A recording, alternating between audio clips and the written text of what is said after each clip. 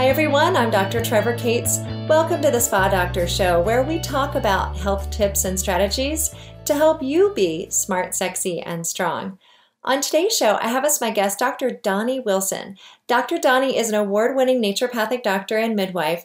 For nearly 20 years, she has helped women, men, and children overcome health challenges and achieve wellness goals with individualized strategies that address the whole body and the underlying cause of health issues. Dr. Doni is creator of the Hamptons Cleanse. She has written a column for the Huffington Post helping to demystify sugar and nutrition and is author of The Stress Remedy, Master Your Body Synergy and Optimize Your Health, as well as the best-selling ebook Stress Remedies: How to Reduce Stress and Boost Your Health in Just 15 Minutes a Day. On today's show, we talk about the role sugar plays on our health.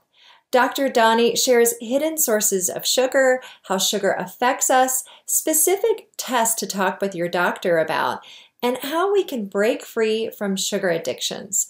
And by the way, sugar addictions are more common than you think. So please enjoy this interview. On today's show, I have as my guest Dr. Doni Wilson. So great to have you on the show. Thank you for having me. Yeah, so we're going to talk today about sugar, right? We've got a lot of people have questions about sugar, the dreaded sugar. So, you know, is we hear that it's bad for us, but let's talk about that. Why is it bad for us? Oh, that yeah, that's the real question, right? Because sometimes too, people, a lot of patients will ask me that. You know, what is it so bad about sugar? And first of all, just knowing that we're talking about really like added sugars, like, you know, the a spoonful of white sugar is especially the part that can can add up to be bad for you, especially your quantities. And the reason it's bad is because it, especially we think about the long term health uh, issues associated with a high intake of sugar. So, diabetes, uh, heart disease, uh, even cancer has been associated with high intake of sugar, as well as you know things that you might notice day to day, like weight gain and mood changes or sleep issues, um, and so you know even headaches, digestive issues. You know, so there could be affecting you even day to day, but then there's the long term that is also involved. Right. And it also can speed up the aging process physically, right? I mean, we got a lot of in- internal things going on blood sugar imbalances, weight gain, diabetes, a lot of risk there, and cancer, you mentioned. But also physically, things, it shows up in our skin and the aging process, right? Exactly. Exactly. Well, it's really that you know, our, our bodies have only a certain ability to manage sugar at any one point in time. Um, and I think sometimes that really helps clarify because we wish we could just take in, you know, eat a bunch of sugar and have our body spread it out over the next week or over the next month. But it doesn't. Our bodies have to, as soon as you swallow it, your body has to do something with it. And, you know, a little bit your body can deal with and process it and use it for energy. We need carbohydrates and sugar for energy. So it's not that we want to do with zero, you need a little bit.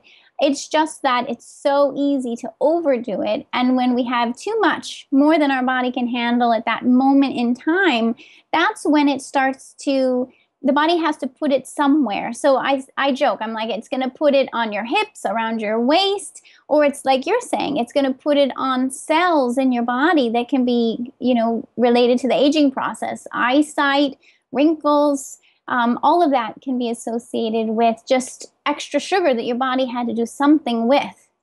Right. Okay. And so let's talk about sugar. What is sugar? What are the many names of sugar? What are the various ways that we can get sugar?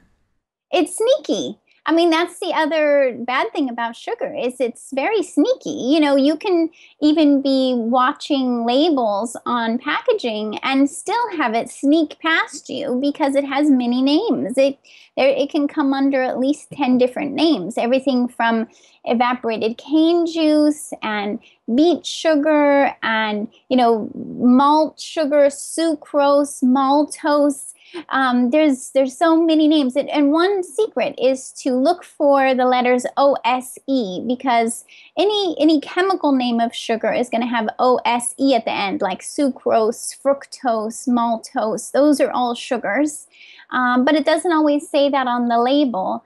So you want to be careful uh, to watch for it. But if you all of those will register if you're looking at a package it'll show under sugar on the label. And then the key is to look down in the ingredients and go okay what is that sugar coming from?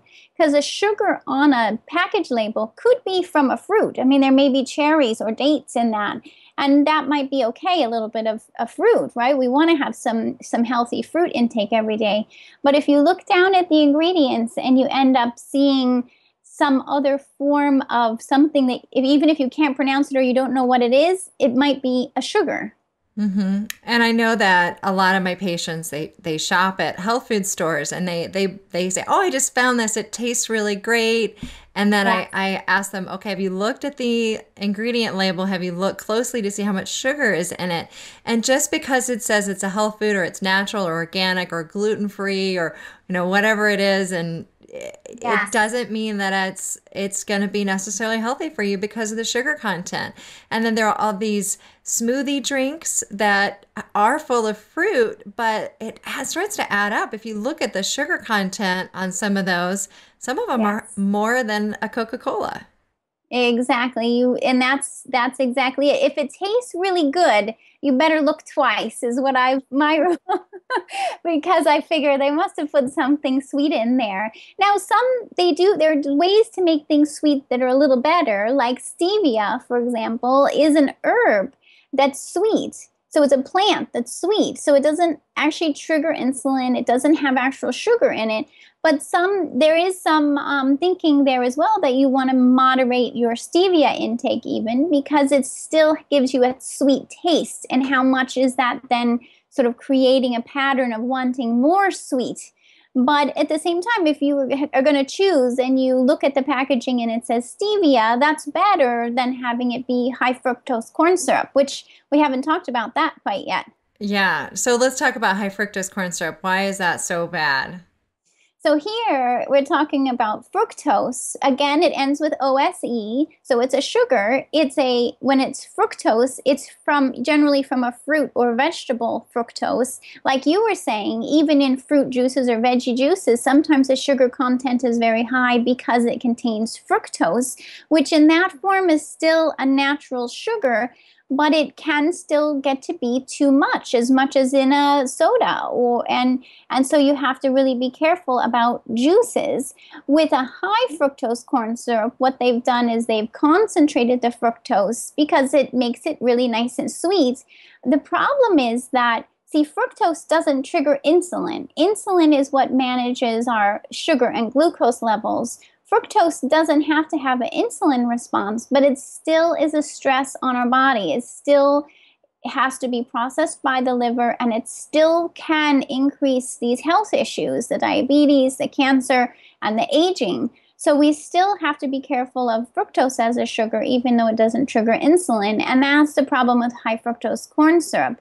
It's also often added to these packaged foods. So you go in thinking you're choosing a healthy gluten free packaged food, and lo and behold, it might have a high fructose corn syrup or sweetener in it, which ends up pushing up your sugar and carbohydrate intake. Even though it's gluten free, it might be high carb. Mm-hmm. Absolutely. And and high fructose corn syrup is in sodas, most sodas, right? Most sodas, unless it's a, a diet soda, then they're using artificial sweeteners, right? So they're using a chemical sweetener, which is also not a great option because we know it's amazing, actually. You would think that here you are choosing an artificial sweetener like aspartame and maybe it's it's not sugar so it shouldn't it should cut out this diabetes risk but the research is actually saying that that's not true that even artificial sweeteners still have uh, health risk associated with them. So it, it really, you don't want to be choosing these sweet beverages, you know, no matter how we try to get around it, you know, whether it's real sugar or artificial sweeteners, it's still a health risk. So you're going to be much better off choosing water, herbal teas without sweeteners. You know, maybe we want to talk about what to choose instead. Right. Well, let's first talk about you said that some sugar is okay. And mm-hmm. so, how do people know if they're getting too much sugar? Yeah, yeah, it's a good question. I was looking at this again because, and it's, you know, one thing is is that you know, it's kind of like confronting the facts, right? It's like sometimes we wish we were like robots for our bodies and we could kind of determine how much is okay. But we are in human bodies and our bodies do have only a certain ability to deal with sugars and other things in our environment as well. And especially as women, our ability to manage sugar is less than men. So, a lot of times when you hear about how much sugar we can have, it's based on men. Men can have, uh, you know, say, they say 40 grams of sugar. I still even think that's on the high side. 40 grams is about equivalent to 10 teaspoons a day of sugar. Can you imagine? Wow, that's a lot. 10 spoonfuls of sugar. But for women, it's 25 grams, which is just about six teaspoons.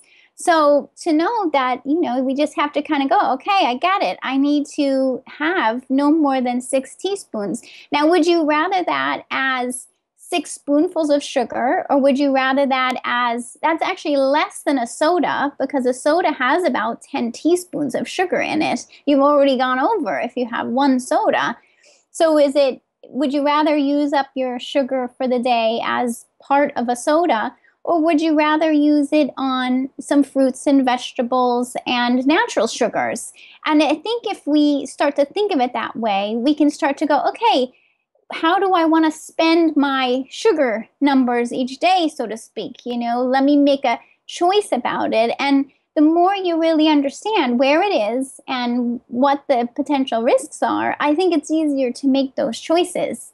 And then you'll also know when you go over. I mean, the more you start to get awareness for this, usually you can kind of feel when you've gone over your six teaspoons a day because if you're regularly having less sugar, when you do have more, you're more likely to have your energy change, you know, either feeling uh, anxious or then after eating sugar, a couple hours later you feel tired or mood changes or sleep changes or maybe your weight changes a little bit and your clothes are fitting different and you know so all of a sudden you're like hey what's going on? Oh i had a little more sugar. Or for some system you know i see that a, i found that a lot for myself. If i have a little too much sugar i'm much more likely to catch that next cold or get that sore throat or sinus congestion. So it could really be a lot of little things you can start to pick up on that tell you that you had too much.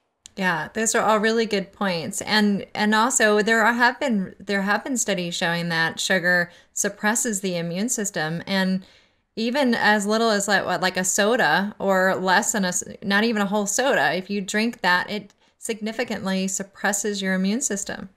Yeah, which is why I think a lot of times we see people more often getting sick around the holidays.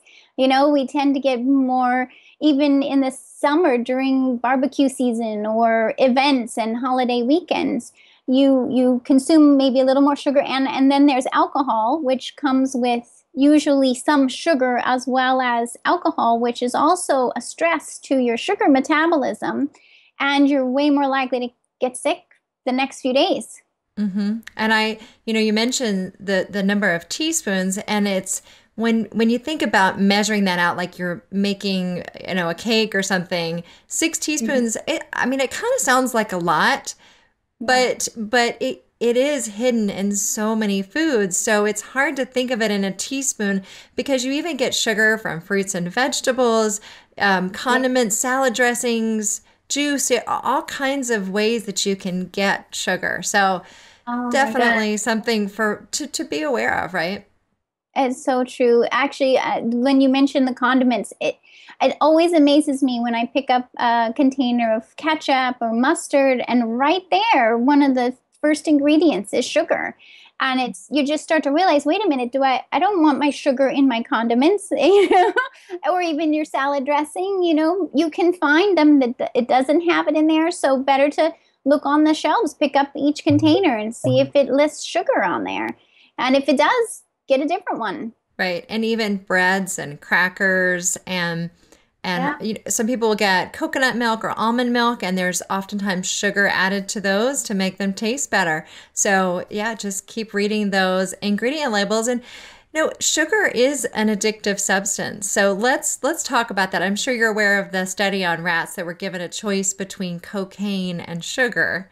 Um, yes, and that they chose the sugar over the cocaine. So let's talk about sugar as an addiction. Yeah, it really is. And I and it's when you start trying to decrease it that I think you it'll usually really become aware of how addictive it is because you next thing you know goes by and you're like, "Oh, my energy's down or my head I'm getting a little headache. Where's that sugar?"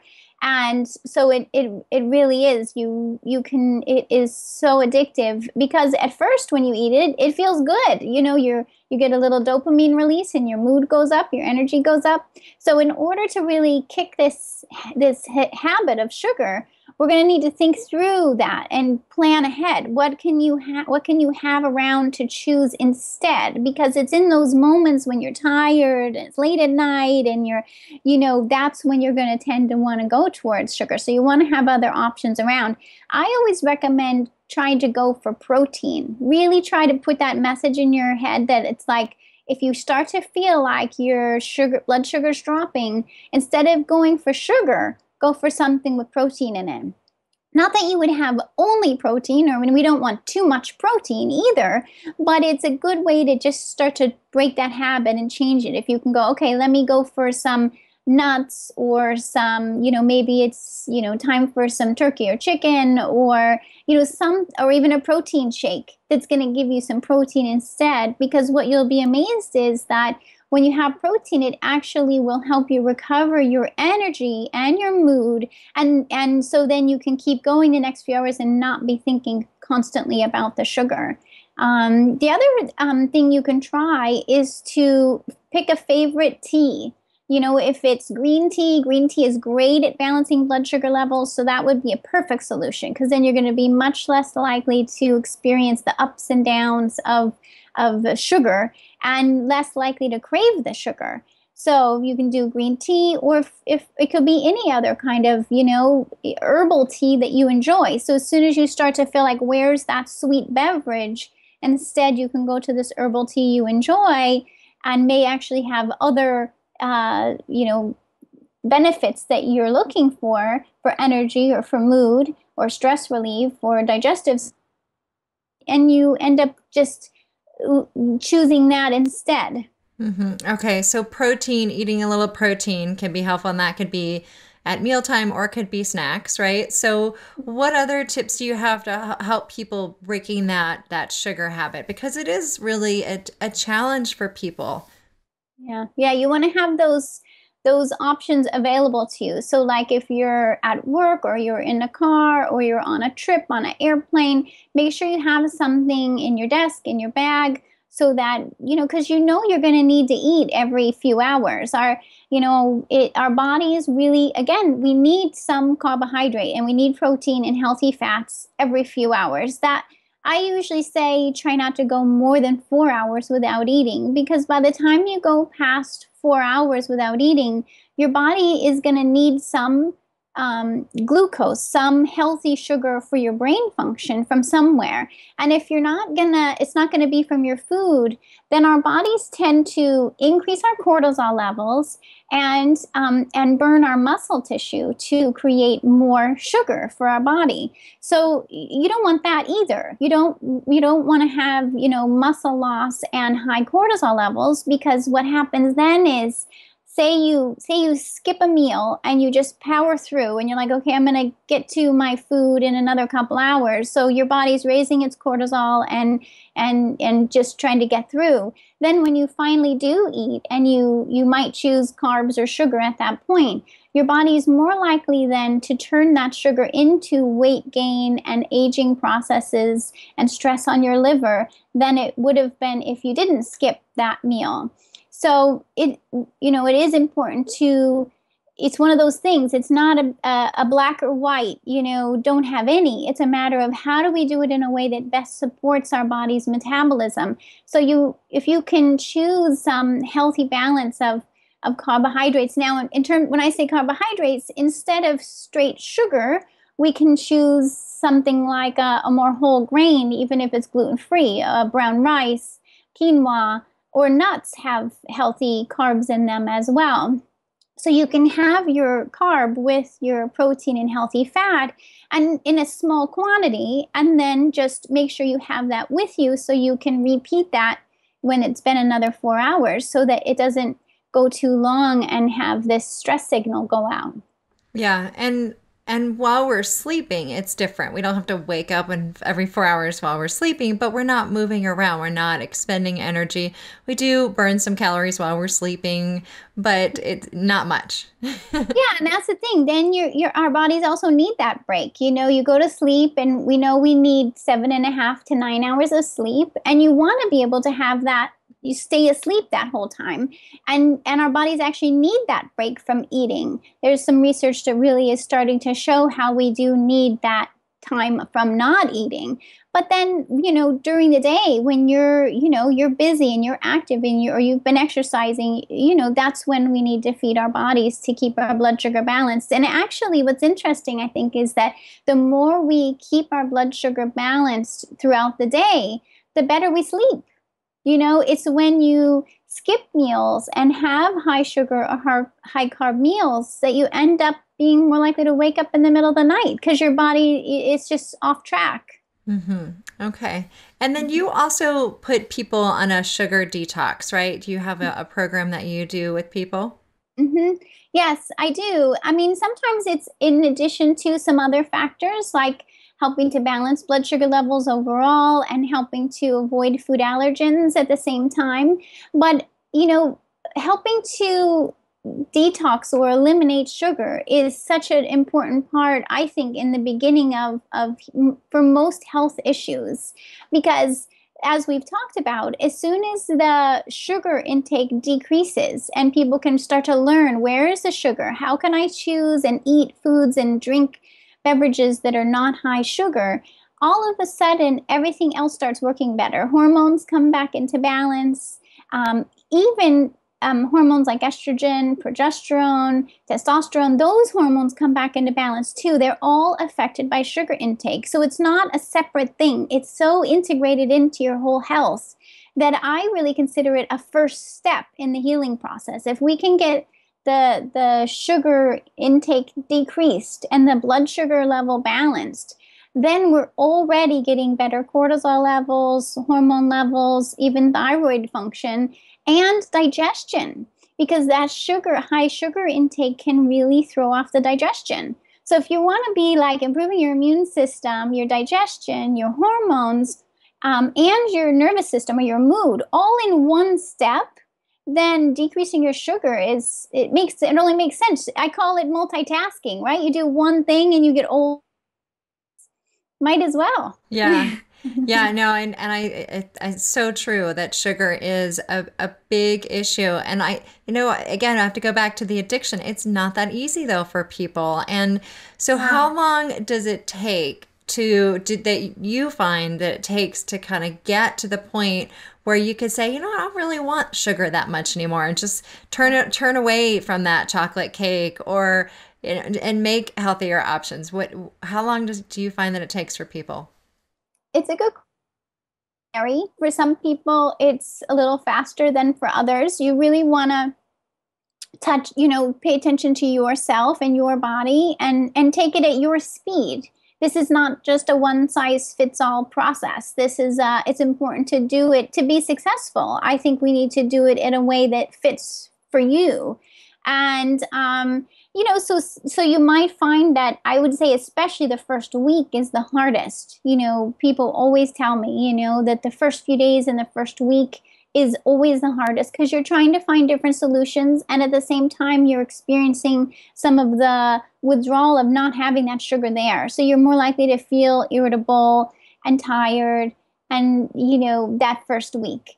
But then after that most people start to feel the difference especially if they've really been able to reduce their sugar intake. The body will notice. Your body will get the memo so to speak and go oh something's different. There's less sugar. We can do things differently here, but it does take the body, you know, a little time. Some people, it takes a few days for their body to notice something's different and they start to really see a difference quickly. Other people, it may take a few weeks or even a couple months for the body to go, wait a minute, hey, I can do these hormones differently. And it may also depend on for how long you've had a sugar high sugar intake. You know, if your sugar intake has been high for a while, it may take a little to notice the change. It can also on your insulin function. We were talking a little bit about insulin. Again, insulin is the hormone when when we eat really any carbohydrate breaks down to a form of sugar called glucose in our bloodstream. And it's insulin's job to move that glucose from the blood into our cells. And it's in the cells where you really want it. You want the glucose to get into your cells so your body can use it for energy. And so this function, this insulin function we talk about is really important. If your insulin is functioning well, then any carbs or sugar, you know, this, the, you know, I mean, if you ate a whole lot, you can at certain point overwhelm your insulin. But if you you know, if you have good insulin function, your body's going to use that sugar for good reason, good for good purposes. And when the insulin function decreases, and at the extreme, that looks like diabetes, right? When insulin is just not able to handle sugar anymore. So if the insulin function is starting to be less effective, it may be a little hard. You have to stick with this change a little longer before you really start to see the benefit, where you start to see your blood sugar levels decreasing, and your hemoglobin is another blood test we use to help us understand blood sugar levels that increase and you start to feel better but that may take three to six months if you've been if you already had started to get you know some lower insulin function happening. Okay so people want to talk to their doctors about um, which which tests to have talk mm-hmm. about fasting blood sugar. You've mentioned hemoglobin A1C um, mm-hmm. and insulin. So, what about? So, those are the tests that you think people should talk to their doctor about that to see if they have problems with insulin or high blood sugar.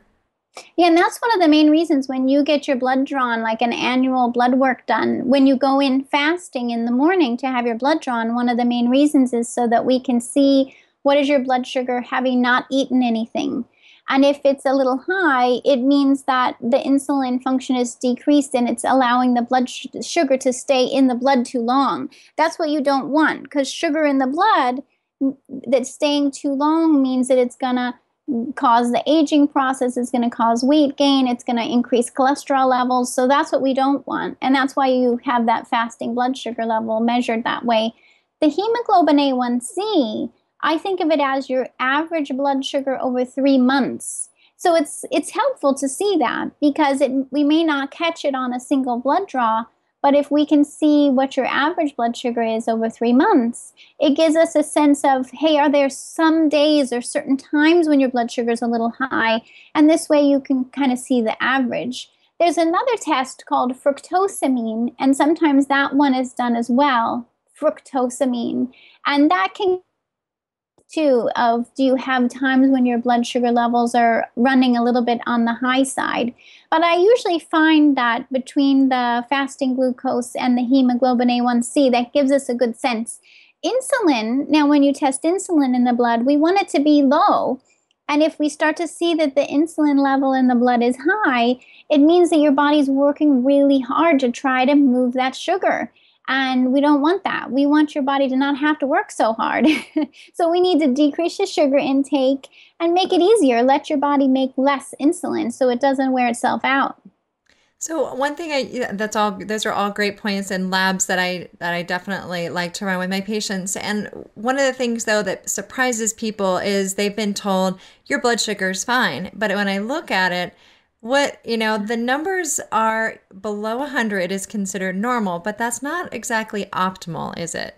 Yeah yeah you have to you have you want to watch it over time you know i i always recommend that you know that patients save their lab results and even chart it out for yourself. What was your fasting glucose five years ago and four years ago and now what was what is it now? So you can start to see if there's a trend upward trend that already can alert you hey i need to pay more attention here. Or even if it's getting anywhere near 100 you know above 90 you start to go wait a minute here. I don't want that I mean, so you can, or even if it's too low, actually, sometimes if it's, you know, say it's 60, that starts to tell me, hey, wait a minute, this, it's not a high blood sugar, but I can tell that the metabolism is stressed because we also don't want low blood sugar happening.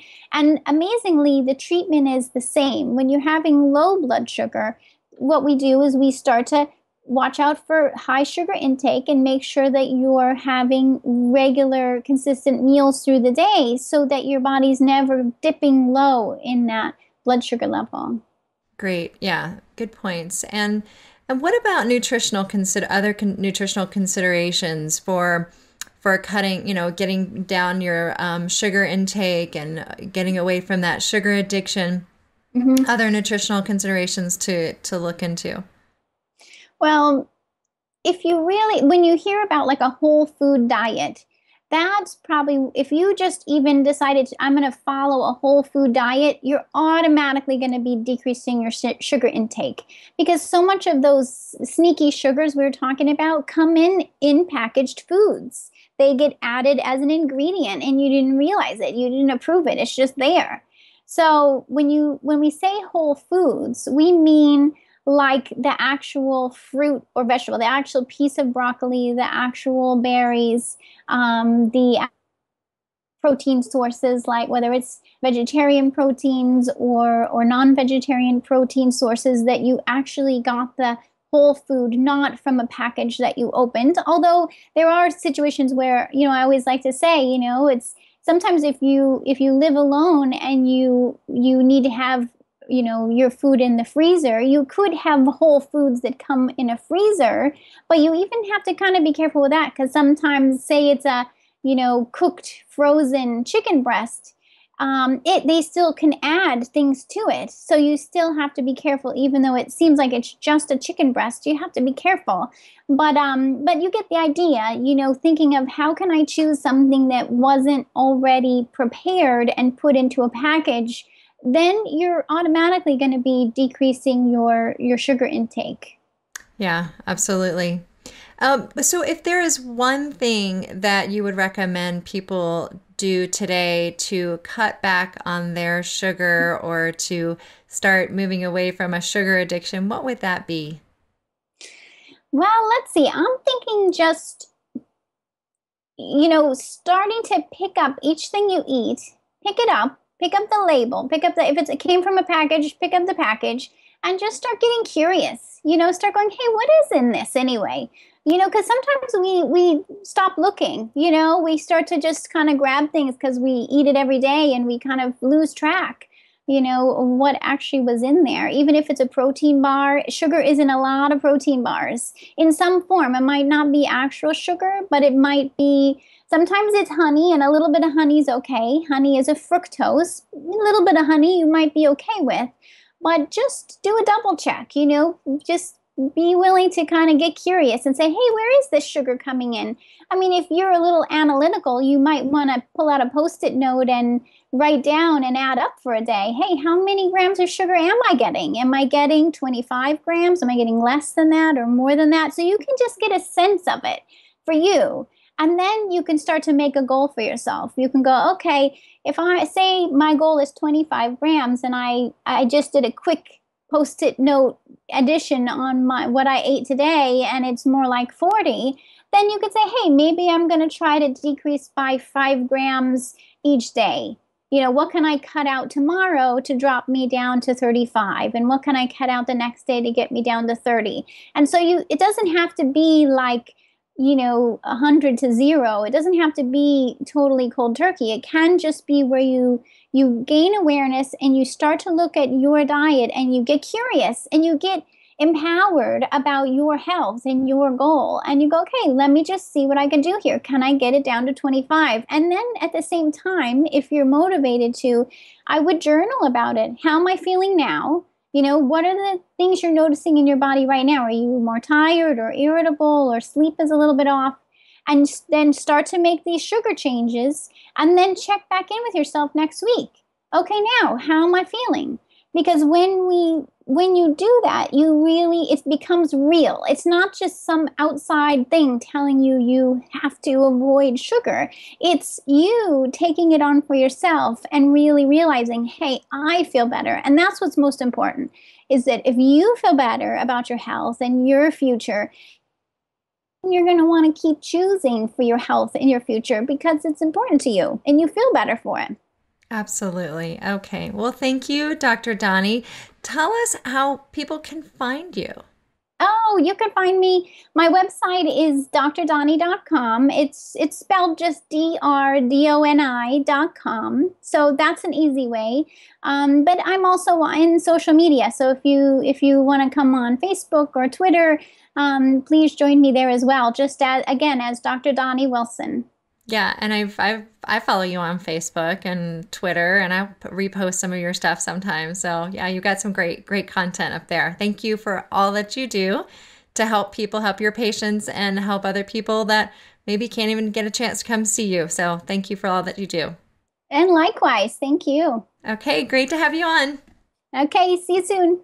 I hope you enjoyed this interview today with Dr. Doni Wilson. To learn more about Dr. Doni, you can go to my website, drtrevorcates.com, go to the podcast page with her interview, and you'll find all the links and information there. And while you're there, you can subscribe to the Spa Doctor podcast on iTunes or on my website so you don't miss any of our upcoming shows. Also, if you haven't done so already, I highly recommend that you get your customized skin profile at theskinquiz.com. Based upon your answers, you'll get great tips on glowing skin and vibrant health. It only takes a few moment, moments to do that, so I highly recommend you check it out. And also, don't miss any of our great posts on social media Facebook, Pinterest, and Twitter. Lots of great tips there as well. And you can join the conversation and ask questions. So, thank you, and we'll see you next time.